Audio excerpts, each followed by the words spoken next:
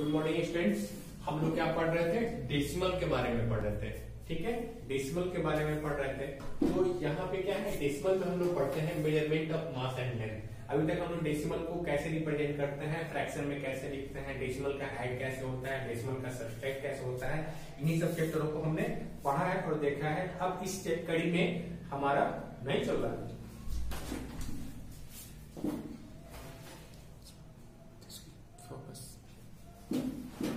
तो इस कड़ी में क्या है? तो इस कड़ी में है मेरा आ, यहाँ पे आता है measurement of mass and length इस चीज़ के बारे में आता है ठीक है? तो measurement of mass and length में और खासकर डेसिमल में पढ़ना है। तो डेसिमल में पढ़ना है तो सबसे पहले वन जो होता है आपको एक हमने चार्ट बना दिया है। इस चार्ट को ध्यान से देखिएगा तो ये वाला जो है ठीक है? ये वाला जो है आपका वन स्पेस है जो स्टैंडर्ड यूनिट्स होता है। क्या होता है? आपका स्टैंडर्ड यूनिट होता है, किसका? ग्राम और मीटर का होता है। वंस के अगर लेफ़्ट साइड पढ़ते हैं तो हमने काउंटिंग पढ़ा है। वंस टेंस हंड्रेड थाउज़ेंड ये जो होता है। ठीक है ना? ये चीज़ होता है।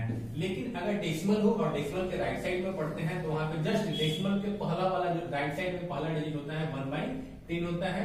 दूसरा वाला डिजिट वन बाई हंड्रेड होता है। तीसरा वाला वन बाई थाउज़ेंड होता है। ठीक है? तो ये स्टैंडर्ड हो गया।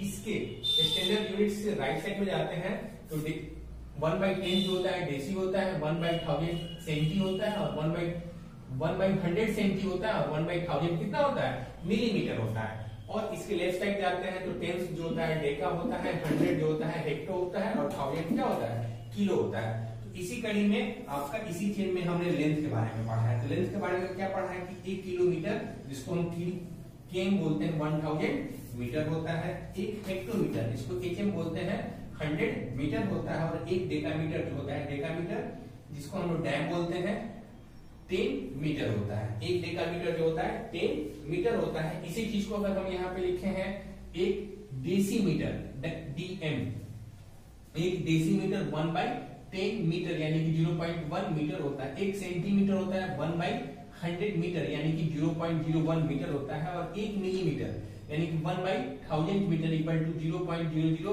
one. ये क्या होता है? आपका लेंथ होता है। तो हमने आपको लेंथ में बताया। अब इसी चीज़ को हम लोग आपको एक बार वेट में बता देते हैं। इन चीज़ों को आप ध्यान से आप अपने क्या कीजिए नोटबुक पे नोट कर लीजिए, लिख लीजिए और याद कर लीजिए। ये आपके लिए बहुत ही क्या है? इंपॉर्टेंट चैप्टर है। यहाँ तो देन हमने लेंथ के बारे में पढ़ा था। लेंथ के बाद हमने वेट के बारे में बताया। ठीक है, वही चीज़ है, एक किलोग्राम, जिसको केजी बोलते हैं। क्या होता है? वन किलोग्राम कितना होता है? वन थाउज़ेंड ग्राम होता है। एक के जी वन थाउज़ेंड ग्राम होता है।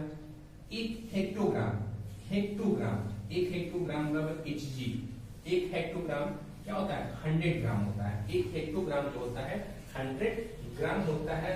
वन डेकाग्राम, क्या है? वन डेकाग्राम आपका कितना होता है? जिसको डी लिखते हैं उसको ये क्या होता है? तीन ग्राम होता है। एक बार फिर से देख लीजिएगा। एक kilogram K G one thousand gram one hectogram one hectogram H G वो होता है हंड्रेड ग्राम होता है और one decagram D G equal to क्या होता है? टेन ग्राम होता है। अब यहीं पे देखिएगा, क्या decigram one decigram जिसको डीजी बोलते हैं वन बाई टेन ग्राम होता है ज़ीरो पॉइंट वन ग्राम।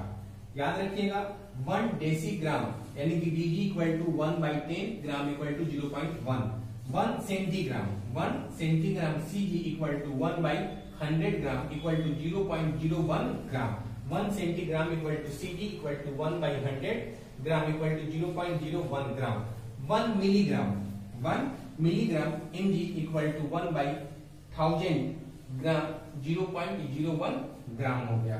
तो इन चीज़ों को आप अच्छे से नोट कर लीजिएगा, याद कर लीजिएगा और क्या होगा? हम जब भी इसके बारे में अगले में हम बताएँगे कि कन्वर्सेशन कैसे होता है मिली को सेंटी सेंटी को मीटर ये सब कैसे लीटर मिलीलीटर ये सब कैसे इसको मिलीग्राम कैसे कन्वर्ट करते हैं, ये चीज़ होता है तो इसका ऐड होता है, इसमें भी सब्सट्रैक्ट होता है और कन्वर्ट ठीक है ना? कि मिली, किलोमीटर, मीटर कैसे कन्वर्ट करते हैं, ये सारा तरीका बताएँगे। तब तक के लिए आप लेंथ और वेट इस दोनों को कन्वर्सेशन का जो ये तरीका है, इसको आप याद कर लीजिएगा। अपने दिमाग में रख लीजिएगा, ठीक है? क्योंकि आने वाले समय में इस चीज़ को बनाने में क्या होगी? सहूलियत होगी। एक छोटा सा टॉपिक है इसमें कन्वर्सेशन बिटवीन यूनिट्स जो है, एक शॉर्ट फॉर्मूला होता है जिसको और, ये तो टिपिकली हाई लेवल पे हो गया, लेकिन एक शॉर्ट तरीका होता है जिससे क्या करते हैं, इसको हम समझाते हैं और एक छोटा सा होता है, उसको इतने आसानी से याद कर लेंगे कि लॉन्ग याद करने की ज़रूरत नहीं होगी। फिर भी ये चीज़, जो सिनारियो है, ये चीज़ आपको बताया गया है, इसको आप अच्छे से नोट कीजिएगा और नोट करके लिख के याद कर लीजिएगा। Have a nice day thank you